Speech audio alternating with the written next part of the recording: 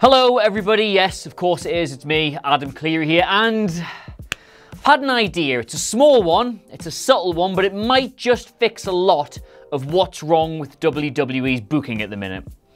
I might be a genius. Sit down. Alright, so before I start, I just want to clarify that this video isn't about how, oh my god, isn't New Japan Pro Wrestling awesome, and oh my god, doesn't WWE suck? Like, that comparison is boring. You guys tell us that you hate it, and it's lazy, and to be honest, I'm with you on that 100%. So it's, it's not that. But, and admittedly, this is going to feel like quite a big but at the minute. Right now, there's something happening in New Japan that WWE should be paying very close attention to. Basically, at the moment, Okada is in the midst of a drastic and unprecedented character arc. Long story short, for two full calendar years, Ish Okada reigns supreme as the IWGP Heavyweight title, defending it no less than 12 times, which mathematically makes him the strongest storyline force ever seen in the company. He was untouchable in the ring, extravagant out of it. Nobody in the world could get anywhere near him. And then, after 65 grueling minutes, which was presented as the fight of his life against Kenny Omega, he lost it all. In the two months since that, they've presented him in a very, very different way. He's basically lost both his title and his mind and can't get one back without the other. He defined himself by his greatness, and without the belt to do that for him, he can't do it at all. I'm not bore you with all the details, but from a storytelling perspective, it's very compelling. He's currently in the process of trying to get it all back, but he can't do that unless he wins the G1, which is the most arduous and competitive wrestling competition on the planet. Over the course of a month, he has to come out victorious against 20 other wrestlers, and even then, he only gets the chance to win it back. When he finally rediscovers himself, whether that's with the belt or not, he'll become the Rainmaker again. It'll be this brilliant moment for New Japan Pro Wrestling. But until that happens, we're forced to go on this strange and compelling journey with him. Now, the point I want to make, the whole reason for this video, the crux, the heart of the argument, is this is only possible. This story, this angle, this investment we have in the character is only possible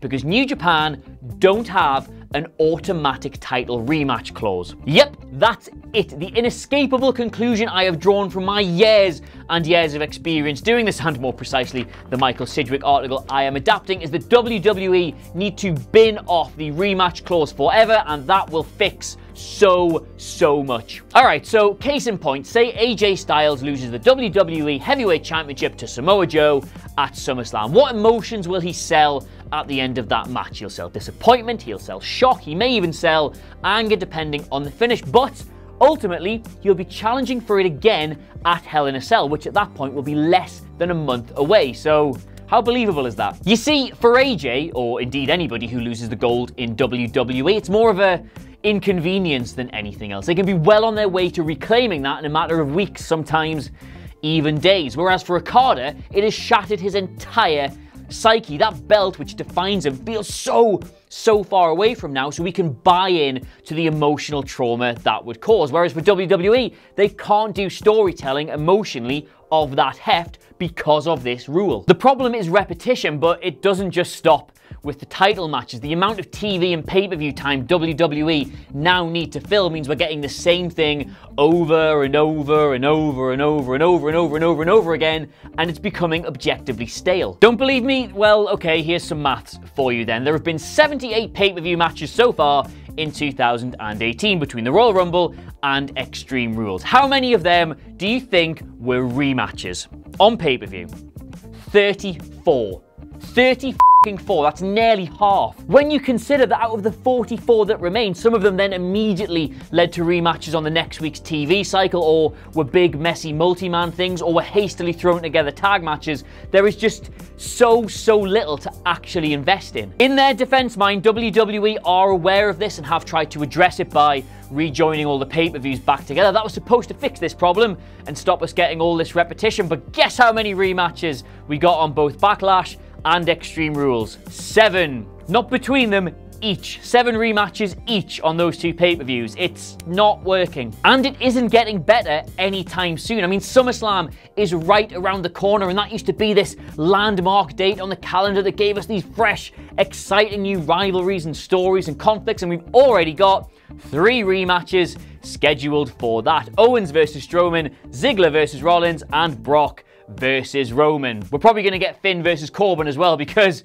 and you're not going to believe this, they're currently 50 50. All right, but back to my main point here because they're not going to fix the repetition issue across the entire card overnight, but they can at least address the main events because that's really where it feels like everything's suffocating the most. If they bin that contract rematch clause, that might fix that. Somebody challenges for a title and doesn't win first time but gets another go because why the hell not? They win that, but then their opponent wants their rematch, so they do that, but inevitably there's something not quite right with the finish, so they do it again, and then maybe again with a daft stipulation, and then maybe they lose that, so they've got to do it all over again from the beginning, and I just. I just can't anymore. Mind you, and I will defend WWE again here, AJ Styles versus Rusev was a perfect example of how to do all of this right. You had a heel earn his way into being number one contender, and then he lost definitively in a match that was well laid out and entertaining, where he succumbed to a far better strategy than he'd brought to the thing. And then Styles, reinforced by the definitive nature of the win, moves on to his next challenge, while Rusev, having lost a match that genuinely felt like it mattered to him, is in the midst of some character development. He processed the L and is seeking to grow as a result. What a novel, novel idea. This should be the new norm because the old one simply fosters this regurgitated, repetitive booking strategy which sees them do the same thing over and over and over again. And then dickheads like us have to stand here and level the same criticisms at them over and over and over again. And trust me, we are as sick of doing that as you are of hearing it. So, there you have it. One, get rid of the automatic rematch clause. Two, fix wrestling a bit. Three, I don't know. And four, profit. Let us know what you made of all this by leaving a comment below. And of course, don't forget to like, share, and subscribe. In the meantime, though, thank you very much for watching. That was many minutes of me just talking at you. My name is, of course, Ben Adam Clery, and I will see you soon. Bye.